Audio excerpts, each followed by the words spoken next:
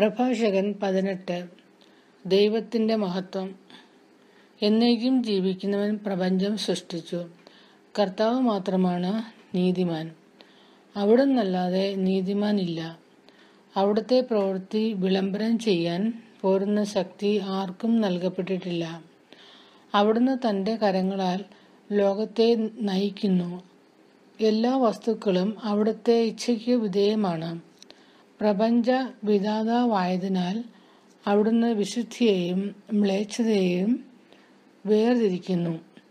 അവിടുത്തെ മഹത്തായ പ്രവൃത്തികൾ കാൺ ആർക്ക് കഴിയും? അവിടുത്തെ മഹത്തായ പ്രവൃത്തികൾ അളക്കാൻ ആർക്ക് കഴിയും? അവിടുത്തെ മഹത്വപൂർണമായ ശക്തി തിട്ടപ്പെടുത്താൻ ആർക്ക് സാധിക്കും? അവിടുത്തെ കാഠിന്യം വർണിക്കാൻ ആർക്ക് കഴിയും? അവ കൂട്ടുകയോ കുറയ്ക്കുകയോ സാധ്യമല്ല. അവിടുത്തെ അത്ഭുതങ്ങളെ അളക്കാൻ ആർക്ക് കഴിയുകയില്ല. മനുഷ്യന്റെ അന്വേഷണം അങ്ങേയറ്റത്തെത്തിയാലും അവന് ആരംഭത്തിൽ തന്നെ നിൽക്കുകയേ ഉള്ളൂ അവന് അത് എന്നും പ്രഹേളികയായിരിക്കും. മനുഷ്യൻ എന്താണ്? അവനെക്കൊണ്ട് എന്ത് പ്രയോജനം?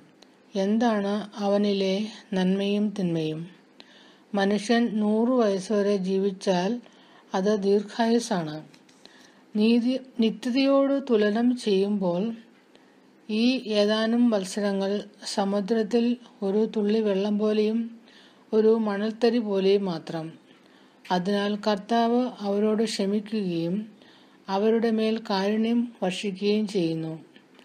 അവരുടെ അവസാനം തിക്തമാണെന്ന് അവിടുന്ന് കണ്ടറിയുന്നു. അതിനാൽ അവരോട് വലിയ ക്ഷമ കാണിക്കുന്നു. മനുഷ്യന്റെ സഹതാപം അയൽക്കാരനോടാണ്. എന്നാൽ കർത്താവ് സകല ജീവജാലങ്ങളോടും ആർദ്രത കാണിക്കുന്നു. അവിടുന്ന് അവരെ ശാസിക്കുന്നു. അവർക്ക് ശിക്ഷണവും പ്രബോധനവും നൽകുന്നു. ഇടയൻ ആടുകളെ എന്ന പോലെ അവരെ തിരിച്ചു കൊണ്ടുവരികയും ചെയ്യുന്നു. തന്റെ നീതിവിധികൾ താല്പര്യമുള്ളവരോടും തന്റെ ശിക്ഷണം സ്വീകരിക്കുന്നവരോടും അവിടുന്ന് ആർദ്രത കാണിക്കുന്നു. വിവേകം മകനെ നിന്റെ സൽപ്രവർത്തികളിൽ നിന്ദ കലർത്തരുത്. സമ്മാനം നൽകുമ്പോൾ വേദനാജനകമായി സംസാരിക്കരുത്. മഞ്ഞ് കഠിനമായ ചൂട് കുറയ്ക്കുന്നില്ലേ? നല്ല വാക്ക് ദാനത്തേക്കാൾ വിശിഷ്ടമാണ്. നല്ല വാക്ക് ബലിയുറ്റ സമ്മാനത്തെ അതിശയിക്കുകയില്ലേ? കാരുണ്യവാനിൽ ഇവ രണ്ടും കാണപ്പെടുന്നു. ഫോഷൻ കാരുണ്യരഹിതനും നിന്ദകനുമാണ്. വിദ്വേഷത്തോടെയുള്ള ദാനം കണ്ണിന്റെ തിളക്കം കെടുത്തുന്നു. കാര്യം ഗ്രഹിച്ചതിന് ശേഷം സംസാരിക്കുക രോഗം പിടിപെടുന്നതിന് മുമ്പ് ആരോഗ്യത്തെക്കുറിച്ച് ചിന്തിക്കുക. ന്യായവിധിക്ക് മുമ്പ് നിന്നെ തന്നെ പരിശോധിക്കുക. വിധിവേളയിൽ നിനക്ക് മാപ്പ് ലഭിക്കും. വീഴും മുമ്പ് വിനീതനാവുക. പാപം ചെയ്തു പോകും മുമ്പ് പിന്തിരിയുക. നേർച്ച യഥാകാലം നിറവേറ്റുന്നതിൽ നിന്ന് ഒന്നും നിന്നെ തടസ്സപ്പെടുത്താതിരിക്കട്ടെ. അത് നിറവേറ്റുവാൻ മരണം വരെ കാത്തിരിക്കരുത്. നേർച്ച നേരുന്നതിന് മുമ്പ് നന്നായി ചിന്തിക്കുക. കർത്താവിനെ പരീക്ഷിക്കുന്നവനെ പോലെ ആകരുത്. മരണദിനത്തിൽ നിനക്ക് നേരിടേണ്ട അവിടുത്തെ കോപത്തെക്കുറിച്ചും അവിടുന്ന് മുഖം തിരിച്ചു കളയുന്ന പ്രതികാര നിമിഷത്തെക്കുറിച്ചും ചിന്തിക്കുക. സമൃദ്ധിയുടെ കാലത്ത് വിശപ്പിനെക്കുറിച്ചും സമ്പത്ത് കാലത്ത് ദാരിദ്ര്യത്തെയും വറുതിയെയും കുറിച്ചും ചിന്തിക്കുക. സമ്പത്ത് കാലത്ത് ദാരിദ്ര്യത്തെയും വറുതിയെയും കുറിച്ച് ചിന്തിക്കുക. പ്രഭാതം മുതൽ പ്രദോഷം വരെ അവസ്ഥാഭേദം വന്നുകൊണ്ടിരിക്കുന്നു. കർത്താവിന് മുമ്പിൽ എല്ലാ വസ്തുക്കളും അതിവേഗം ചരിക്കുന്നു. ബുദ്ധിമാൻ എല്ലാ കാര്യങ്ങളിലും ശ്രദ്ധാലുവായിരിക്കും. പാപത്തിന്റെ നാളുകളിൽ ദുഷ്പ്രവൃത്തികൾക്കെതിരെ അവൻ ജാഗരൂകത പുലർത്തും. ബുദ്ധിമാൻ ജ്ഞാനത്തെ അറിയുന്നു. അവളെ കണ്ടെത്തുന്നവനെ അവൻ പുകഴ്ത്തുകയും ചെയ്യും. ജ്ഞാനത്തിന്റെ വചസ്സുകൾ ഗ്രഹിക്കുന്നവന് പാണ്ഡിത്യം നേടും. അവൻ സൂക്തങ്ങൾ അവസരോചിതമായി മൊഴിയും. ആത്മസംയമനം. അധമ വികാരങ്ങൾക്ക് കീഴ കീഴടങ്ങാതെ തൃഷ്ണ നിയന്ത്രിക്കുക. അധമ വികാരങ്ങളിൽ ആനന്ദിച്ചാൽ നീ ശത്രുക്കൾക്ക് പരിഹാസപാത്രമായി തീരും. ആഡംബരത്തിൽ മതിമറക്കരുത്. അത് നിന്നെ ദരിദ്രനാക്കും. കയ്യിൽ ഒന്നുമില്ലാത്തപ്പോൾ കടം വാങ്ങി വിരുന്നു നടത്തി ഭിക്ഷക്കാരനായി തീരരുത്. പ്രഭാഷകൻ പത്തൊമ്പത്. മദ്യപനായ തൊഴിലാളി ഒരിക്കലും ധനവാനാകയില്ല ചെറിയ കാര്യങ്ങൾ അവഗണിക്കുന്നവന് അല്പാൽപമായി നശിക്കും. ബീഞ്ഞും സ്ത്രീയും ബുദ്ധിമാന്മാരെ വഴിതെറ്റിക്കുന്നു. വേശികളുമായി ഇടപഴകുന്നതിനു വീണ്ടും വിചാരം നഷ്ടപ്പെടുന്നു. വേശികളുമായി ഇടപഴകുന്നവന് വീണ്ടും വിചാരം നഷ്ടപ്പെടുന്നു. വ്രണങ്ങളും പുഴുക്കളും അവനെ അവകാശപ്പെടുത്തും. വീണ്ടും വിചാരമില്ലാത്തവൻ നശിക്കും. സംസാരത്തിൽ സൂക്ഷിക്കുക. മറ്റുള്ളവരെ എളുപ്പം വിശ്വസിക്കുന്നവന്റെ മനസ്സിന് ആഴമില്ല. പാപം ചെയ്യുന്നവൻ തനിക്ക് തന്നെ തിന്മ വരുത്തുന്നു. ദുഷ്ടതയിൽ ആനന്ദിക്കുന്നവൻ ശിക്ഷിക്കപ്പെടും. വ്യർത്ഥഭാഷണത്തെ വെറുക്കുന്നവൻ തിന്മയിൽ നിന്ന് ഒഴിഞ്ഞിരിക്കും. കേൾക്കുന്നതെല്ലാം പറഞ്ഞു നടക്കരുത്. നിനക്കൊന്നും നഷ്ടപ്പെടുകയില്ല. മിത്രത്തോടായാലും ശത്രുവിനോടായാലും കേട്ടത് പറയരുത്. പാപം ആവുകയില്ലെങ്കിൽ അത് നീ വെളിപ്പെടുത്തരുത്. കേൾക്കുന്നവനു നിന്നിൽ വിശ്വാസം നഷ്ടപ്പെടും. ക്രമേണ അവൻ നിന്നെ വെറുക്കും. കേട്ട കാര്യം നിന്നോടൊത്തു മരിക്കട്ടെ. ധൈര്യമായിരിക്കുക. നീ പൊട്ടിത്തെറിക്കുകയില്ല. രഹസ്യം കേട്ട വിഡ്ഢി പ്രസവവേദന അനുഭവിക്കുന്ന സ്ത്രീയെ പോലെ ക്ലേശിക്കും. തുടയിൽ തുളഞ്ഞു കയറിയ അസ്ത്രം പോലെയാണ് ഫോഷിന്റെ ഉള്ളിൽ രഹസ്യം. കേട്ട കാര്യം സ്നേഹിതനോട് നേരിട്ട് ചോദിക്കുക. അവൻ അത് ചെയ്തിട്ടില്ലായിരിക്കാം. ചെയ്താൽ തന്നെ മേലിൽ അങ്ങനെ ചെയ്യാതിരിക്കട്ടെ. അയൽക്കാരനോട് നേരിട്ട് ചോദിക്കുക. അവനത് പറഞ്ഞിട്ടില്ലായിരിക്കാം. പറഞ്ഞാൽ തന്നെ മേലിൽ അങ്ങനെ പറയാതിരിക്കട്ടെ. സ്നേഹിതനോട് ചോദിക്കുക അത് മിഥ്യ അപവാദമായിരിക്കും. കേൾക്കുന്നതെല്ലാം വിശ്വസിക്കരുത്. ആർക്കും തെറ്റുപറ്റാം. നാവുകൊണ്ട് ഒരിക്കലും പാപം ചെയ്തിട്ടില്ലാത്ത ആരെങ്കിലും ഉണ്ടോ അയൽക്കാരനെ ഭീഷണിപ്പെടുത്തുന്നതിന് മുമ്പ് അവനുമായി സംസാരിക്കുക. ദൈവഭക്തി സ്വീകാര്യതയുടെ ആരംഭമാണ്. ജ്ഞാനം അവിടുത്തെ സ്നേഹം ആർജിക്കുന്നു. അത്യുന്നതന്റെ നിയമം നിറവേറ്റാൻ ഇട നൽകുക. പ്രഭാഷകൻ പത്തൊമ്പത് പത്തൊമ്പത്. കർത്താവിന്റെ കൽപ്പനകൾ അറിയുന്നത് ജീവൻ നൽകുന്ന ശിക്ഷണമാണ്. അവിടുത്തെ ഇഷ്ടം നിറവേറ്റുന്നവൻ അമർത്യതയുടെ വൃക്ഷത്തിന്റെ ഫലം ആസ്വദിക്കും. യഥാർത്ഥ ജ്ഞാനം. എല്ലാ ജ്ഞാനവും ദൈവഭക്തിയിൽ അടങ്ങുന്നു ജ്ഞാനത്തിന് നിയമത്തിന്റെ പൂർത്തീകരണമുണ്ട്. പ്രഭാഷകൻ പത്തൊമ്പത് ഇരുപത്തൊന്ന്. നീ പറയുന്നത് ഞാൻ ചെയ്യുകയില്ലെന്ന് പറഞ്ഞിട്ട് അത് ചെയ്താലും ദാസൻ യജമാനന്റെ കോപത്തിനിരയാകും. തിന്മയിലുള്ള അറിവ് ജ്ഞാനമല്ല. പാപികളുടെ ഉപദേശം വിവേകരഹിതമാണ്? നിന്ദ്യമായ സാമർഥ്യവുമുണ്ട്. ജ്ഞാനമില്ലാത്തതുകൊണ്ട് മാത്രം ഭോഷനായിരിക്കുന്നവനുമുണ്ട് നിയമം ധിക്കരിക്കുന്ന ബുദ്ധിമാനേക്കാൾ ഭേദമാണ് ദൈവഭയമുള്ള ബുദ്ധിഹീനൻ. സൂക്ഷ്മവും എന്നാൽ അനീതി നിറഞ്ഞതുമായ സാമർഥ്യമുണ്ട്. താല്പര്യം നേടാൻ നിഷ്കരുണം പ്രവർത്തിക്കുന്നവരുണ്ട്. ശിരസു മമിച്ച് വിലപിക്കിച്ചു നടക്കുന്ന ആ ഭാസനുണ്ട്. അവന്റെ ഹൃദയം നിറയെ കാപട്യമാണ്. അവൻ മുഖം മറച്ച് ഒന്നും കേൾക്കുന്നില്ലെന്ന് നടിക്കും. ആരും ശ്രദ്ധിക്കാത്തപ്പോൾ അവൻ നിന്റെ മേൽ ചാടി വീഴും. അശക്തി കൊണ്ട് പാപത്തിൽ നിന്ന് ഒഴിഞ്ഞു നിന്നാലും തക്കം കിട്ടുമ്പോൾ തിന്മ പ്രവർത്തിക്കും. ബാഹ്യഭാവം നോക്കിയാണ് മനുഷ്യനെ അറിയുന്നത്. ബുദ്ധിമാനെ മുഖം കണ്ടാൽ അറിയാം. വേഷം ചിരി നടപ്പ് ഇവ മനുഷ്യന്റെ സത്വം വെളിപ്പെടുത്തുന്നു. പ്രഭാഷകൻ ഇരുപത്. അവസരോചിതമായി സംസാരിക്കുക. സമയോചിതമല്ലാത്ത ശാസനയുണ്ട്. മൗനം അവലംബിക്കുന്ന ബുദ്ധിമാനുമുണ്ട്. കോപം ഉള്ളിൽ വയ്ക്കുന്നതിനേക്കാൾ ഭേദമാണ് ശാസിക്കുന്നത്.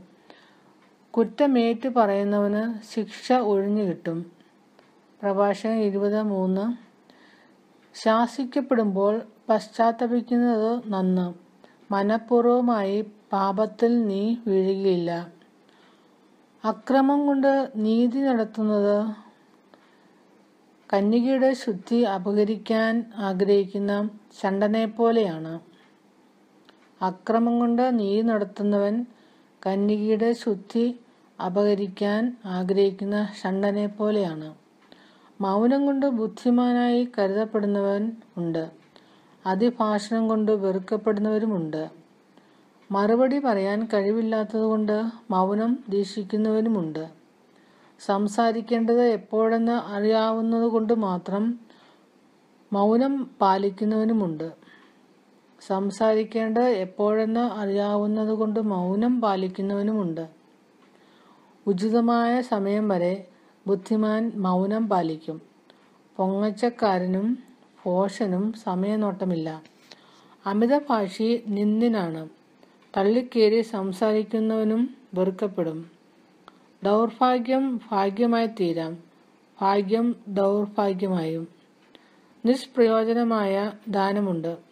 ഇരട്ടി മടക്കി കിട്ടുന്ന ദാനവുമുണ്ട്. അവമതിയിലേക്ക് നയിക്കുന്ന ബഹുമതിയുണ്ട്. താഴ്മയിൽ നിന്ന് മഹത്വത്തിലേക്ക് ഉയരുന്നവരുമുണ്ട്. കുറഞ്ഞ വിലയ്ക്ക് ഏറെ വാങ്ങുന്നവരുണ്ട്. ഏഴിരട്ടി കൊടുക്കുന്നവരുമുണ്ട്. നീതിമാൻ സംസാരത്തിലൂടെ പ്രീതി നേടുന്നു. പോഷന്റെ ഉപചാരം വ്യർത്ഥമാണ്. പോഷന്റെ ദാനം നിനക്ക് ഉതകുകയില്ല. അവന്റെ പ്രതീക്ഷ ഏഴിരട്ടിയാണ് അവൻ അല്പം നൽകുകയും അധികം വീമ്പടിക്കുകയും ചെയ്യുന്നു. അവർ തന്നെ തന്നെ കൊട്ടിഘോഷിക്കുന്നു. ഇന്ന് കടം കൊടുത്ത് നാളെ തിരികെ ചോദിക്കുന്നവൻ നിന്ദ്യനാണ്. പോഷൻ പറയും എനിക്ക് സ്നേഹിതന്മാരാരുമില്ല. എന്റെ സത്പ്രവൃത്തികൾക്കു പ്രതിഫലം ലഭിക്കുന്നില്ല.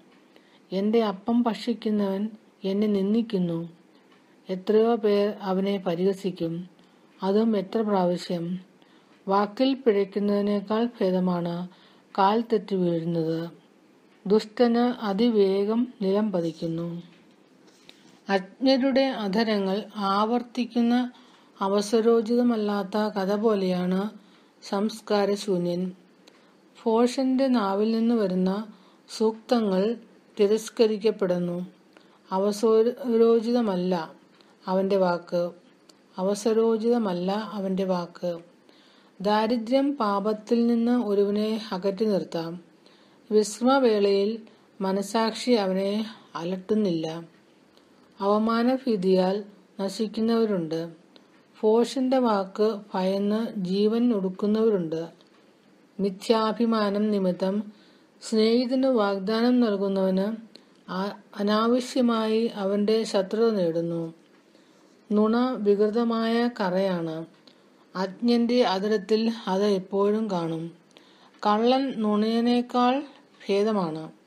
രണ്ടുപേരുടെയും വിധി നാശം തന്നെ.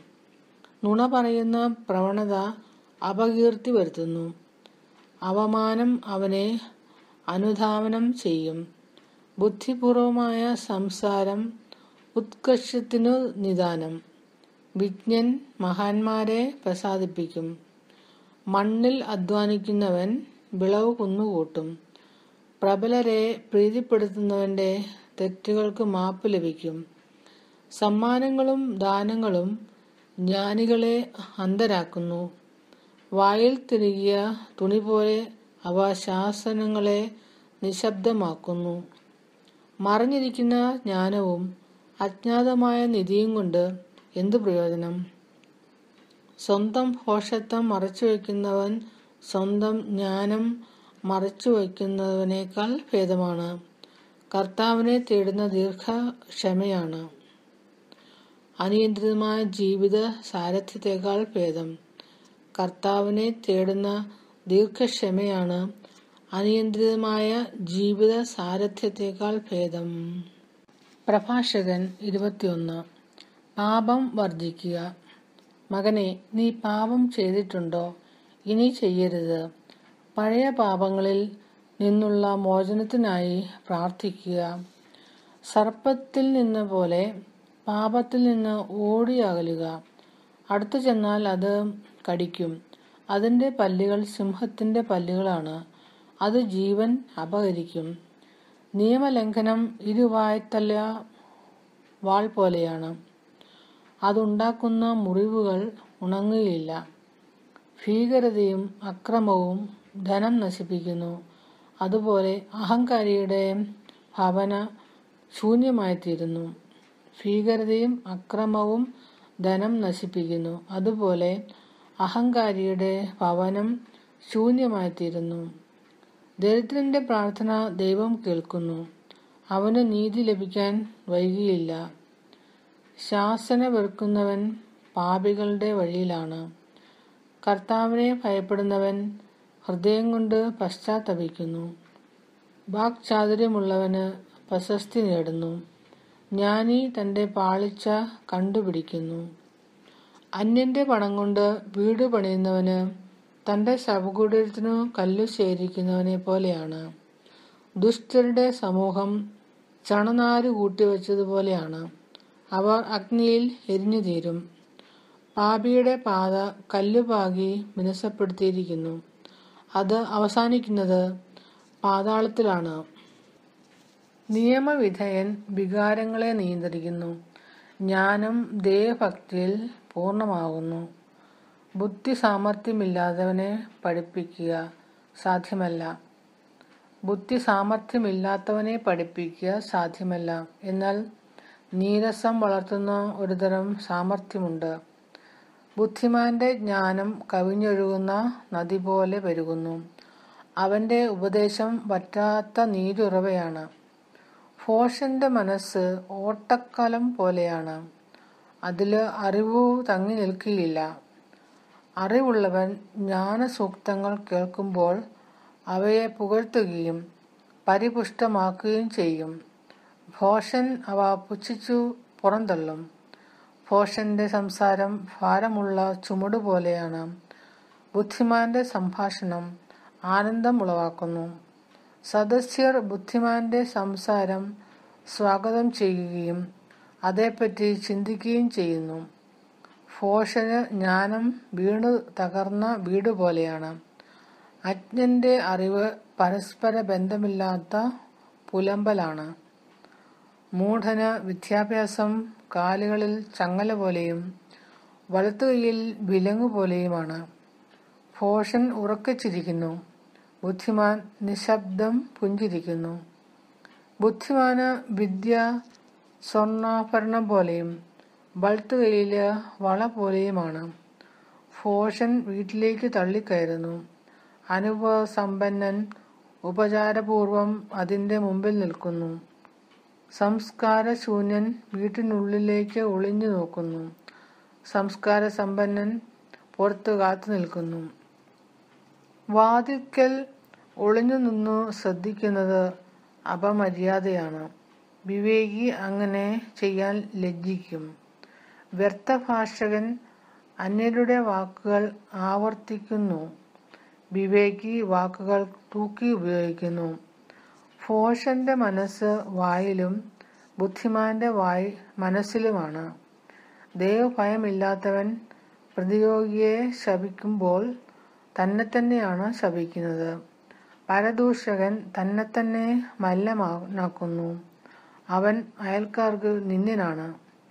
പരദൂഷകൻ തന്നെ തന്നെ മലിനനാക്കുന്നു. അവൻ അയൽക്കാർക്ക് നിന്ദ്യനാണ്. പ്രഭാഷകൻ ഇരുപത്തിരണ്ട്. അലസതയും ഭോഷത്വവും ചെളിയിൽ പൂണ്ട കല്ല് പോലെയാണ് അലസൻ. അവന്റെ നിന്ദ്യാവസ്ഥയെ എല്ലാവരും പരിഹസിക്കുന്നു.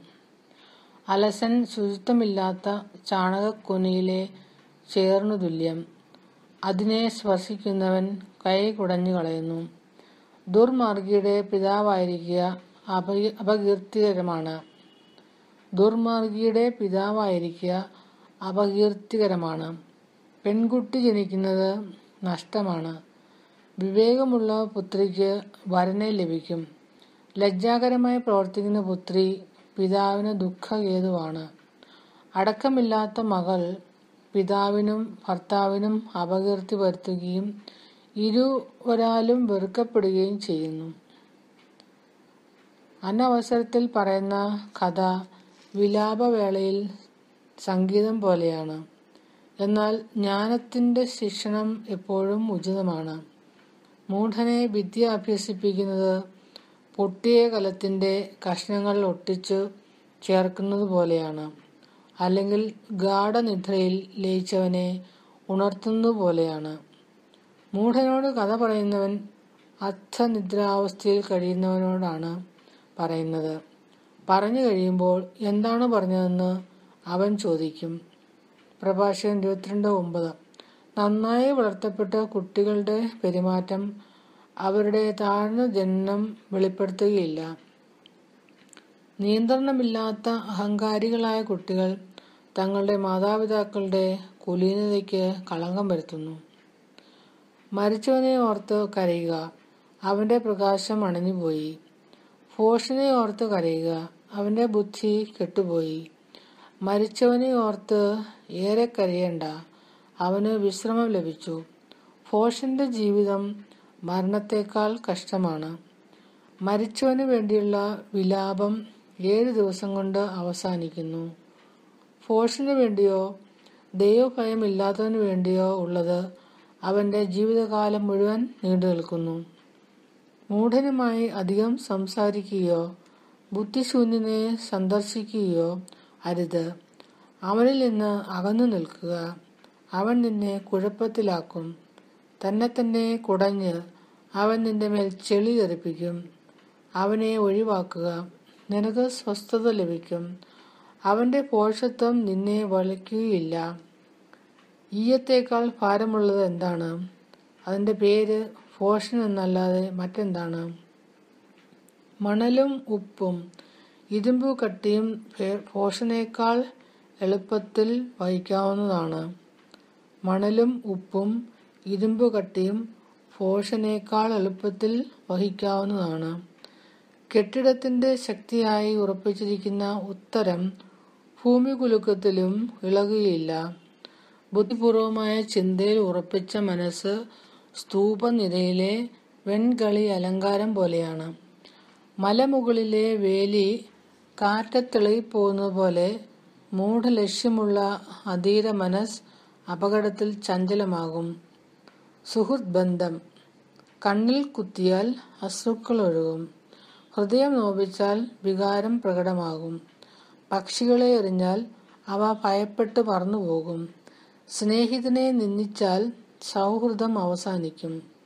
സ്നേഹിതനെതിരെ നീ വാളെടുത്തു പോയാൽ പോലും നിരാശനാകേണ്ട. സൗഹൃദം വീണ്ടെടുക്കാൻ സാധിക്കും. സ്നേഹിതനെതിരെ നീ വാളെടുത്തു പോയാൽ പോലും നിരാശനാകേണ്ട. സൗഹൃദം വീണ്ടെടുക്കാൻ സാധിക്കും. സ്നേഹിതനെതിരെ നീ സംസാരിച്ചാലും അസ്വസ്ഥനാകേണ്ട. അനുരഞ്ജന സാധ്യതയുണ്ട്. എന്നാൽ നിന്ദ ധിക്കാരം രഹസ്യം വെളിപ്പെടുത്തൽ ചതി എന്നിവ സ്നേഹിതരെ ഓടിച്ചു കളയുന്നു അയൽക്കാരന്റെ ദാരിദ്ര്യത്തിൽ അവന്റെ വിശ്വാസം ആർജിച്ചാൽ അവന്റെ ഐശ്വര്യത്തിൽ നിനക്കും പങ്കുചേരാം. കഷ്ടകാലത്ത് അവനോട് ചേർന്ന് നിന്നാൽ അവന്റെ അവകാശത്തിൽ നിനക്കും പങ്കാളിയാകാം. തീച്ചുളിൽ നിന്ന് നീരാവിയും പുകയും ജ്വാലയ്ക്കു മുമ്പേ ബഹിർഗമിക്കുന്നത് പോലെ നിന്ദ രക്തച്ചൊരിച്ചിലിന്റെ മുന്നോടിയാണ്. സ്നേഹിതനെ രക്ഷിക്കുന്നതിൽ ഞാൻ ലജ്ജിക്കുകയില്ല. ഞാൻ അവനിൽ നിന്ന് മറിഞ്ഞിരിക്കുകയുമില്ല. എന്നാൽ അവൻ നിമിത്തം എനിക്കെന്തെങ്കിലും ഉപദ്രവം സംഭവിച്ചാൽ അതേപ്പറ്റി കേൾക്കുന്നവരെല്ലാം അവനെ സൂക്ഷിച്ചുകൊള്ളും.